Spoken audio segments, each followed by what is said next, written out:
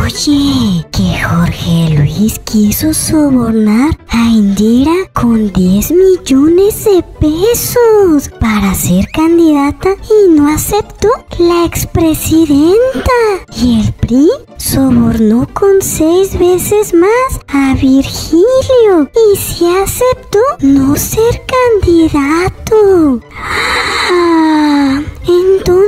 ¿Vale más no ser que sí ser? Claro, Jorge Luis es de abajo y tira muy abajo. Pero no se lo vayas a decir a nadie.